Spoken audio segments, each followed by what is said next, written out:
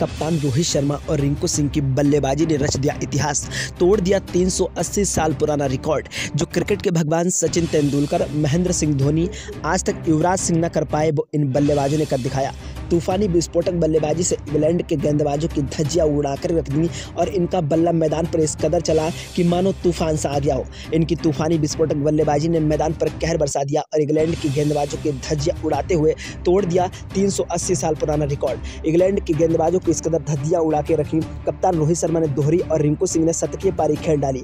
यहाँ पर बरसों साल पुराना रिकॉर्ड टूट गया। कप्तान रोहित शर्मा और रिंकू सिंह और यशस्वी जायसवाल तो वहीं घातक विस्फोटक बल्लेबाज विराट कोहली, सूर्य कुमार यादव की आप तूफानी विस्फोटक बल्लेबाजी देखेंगे तो शायद आपके भी एक बार रोंगटे खड़े हो जाएँगे। सब कुछ आपको पूरा का पूरा लाइव हाईलाइट रोमांचक मुकाबला इस वीडियो के माध्यम से दिखाने वाले हैं। बस आप लोगों से छोटी सी रिक्वेस्ट है, अगर आप इस वीडियो को देख रहे हैं तो प्लीज़ शुरू से लेकर अंत तक देखते रहिए। चैनल पर नए हैं तो चैनल को सब्सक्राइब करके बेल आइकन को प्रेस कर दीजिए और वीडियो को दिल से एक लाइक ज़रूर कर देना। भारत वर्सेस इंग्लैंड के बीच जब पहले टी मुकाबले का टॉस उछाला गया तो टॉस की बाजी भारतीय टीम के कप्तान हिटमैन रोहित शर्मा ने जीतकर बल्लेबाजी करने का फैसला किया और इंग्लैंड की गेंदबाज और कप्तान को गेंदबाजी करने का न्योता दे दिया। जी हाँ टॉस की बाजी जीतने के बाद कप्तान रोहित शर्मा और यशस्वी जायसवाल ने मैदान पर तूफानी विस्फोटक बल्लेबाजी करनी शुरू कर दी। कप्तान रोहित शर्मा और यशस्वी जायसवाल दोनों तूफानी विस्फोटक अंदाज में मैदान पर डटकर बल्लेबाजी करने लगे। कप्तान रोहित शर्मा ने पहले ही एक ओवर में दो कवर ड्राइव चौके और दो गगन चुमती छक्के ठोक दिए। तो वहीं घातक विस्फोटक बल्लेबाज यशस्वी जायसवाल भी कहाँ पीछे जाने वाले थे? यशस्वी जायसवाल का भी बल्ला मैदान पर तूफानी विस्फोटक तरीके से चलने लगा, लेकिन यशस्वी जायसवाल ज़्यादा देर तक मैदान पर टिक नहीं पाया और महज सैंतीस रन ठोक करके आउट हो गए।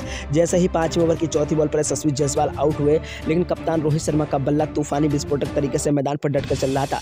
इंग्लैंड की गेंदबाज और कप्तान रोहित शर्मा को आउट करने के लिए एड़ी से लेकर चोटी तक का ज़ोर लगा रहे थे, लेकिन कप्तान रोहित शर्मा की बल्लेबाजी मैदान पर कहर बरसा रही थी।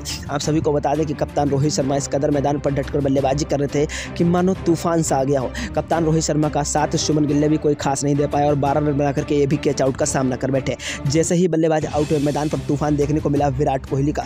विराट कोहली ने पहले टी मुकाबले में वापसी करते ही इंग्लैंड की गेंदबाजों के परखच्चे उड़ाने शुरू कर दिए।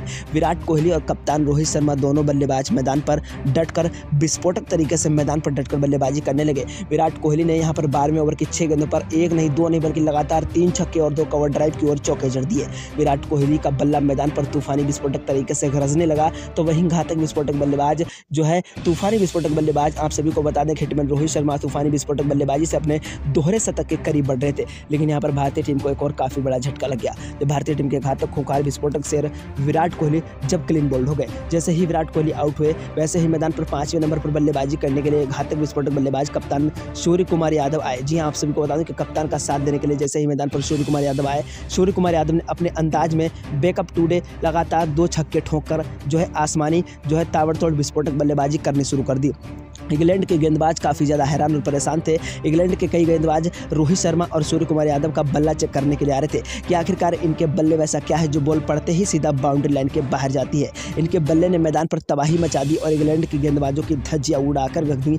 यहाँ पर घातक विस्फोटक बल्लेबाज यशस्वी जायसवाल, शुभमन गिल, विराट कोहली जब आउट हुए सूर्य कुमार यादव ने तूफानी विस्फोटक अंदाज में मैदान पर डटकर बल्लेबाजी की और अंग्रेज़ों को धोने में कोई कसर नहीं छोड़ी। सूर्य कुमार यादव, कप्तान रोहित शर्मा ने तूफानी विस्फोटक बल्लेबाजी से मैदान पर कहर बरसा दिया। लेकिन जब सूर्य कुमार यादव आउट हुए तो मैदान पर एक तूफानी विस्फोटक बल्लेबाज आया, जिसका नाम था रिंकू सिंह। रिंकू सिंह वो आंधी है, वो तूफ़ान है, वो चट्टान है, जिसने पहले टी मुकाबले में तूफानी विस्फोटक अंदाजी में छक्के से शुरुआत की और यूँ ही नहीं, रिंकू सिंह का बल्ला मैदान पर तूफानी विस्फोटक तरीके से गरजने लगा। रिंकू सिंह ने तूफानी विस्फोटक अंदाज में इंग्लैंड के गेंदबाजों की धज्जियाँ उड़ाते हुए अड़सठ रन ठोक दिए, लेकिन सूर्य कुमार यादव ने तूफानी विस्फोटक बल्लेबाजी और कप्तान रोहित शर्मा ने दो रन ठोक दिए। टी मुकाबले में इतनी घातक विस्फोटक बल्लेबाजी की कि इंग्लैंड के गेंदबाजों के परखच्चे उड़ गए। जहाँ पर वार्म मुकाबले में भारतीय टीम ने जीत हासिल कर ली। चैनल पर नए हैं तो चैनल को सब्सक्राइब करके बेल आइकन को प्रेस कर दीजिए। वीडियो को दिल से लाइक, शेयर शुरू करिए और इस तरह से दुआ कामना बनाए रखिए कि कोई भी मुकाबला हो, चाहे टेस्ट हो, चाहे वर्ल्ड कप हो, चाहे टी ट्वेंटी हो, चाहे कोई मुकाबला हो, हमारी भारतीय टीम जीते। मिलते हैं अगले नए वीडियो में नई जानकारी के साथ। तब तक के लिए जय हिंद, जय भारत।